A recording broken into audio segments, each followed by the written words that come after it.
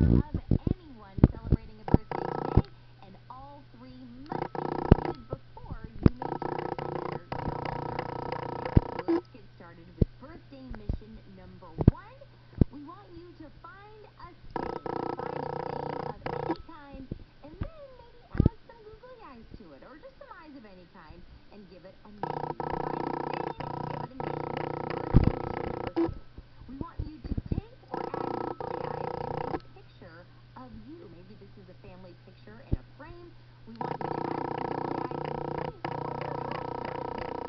finally, birthday mission number three, we want you to...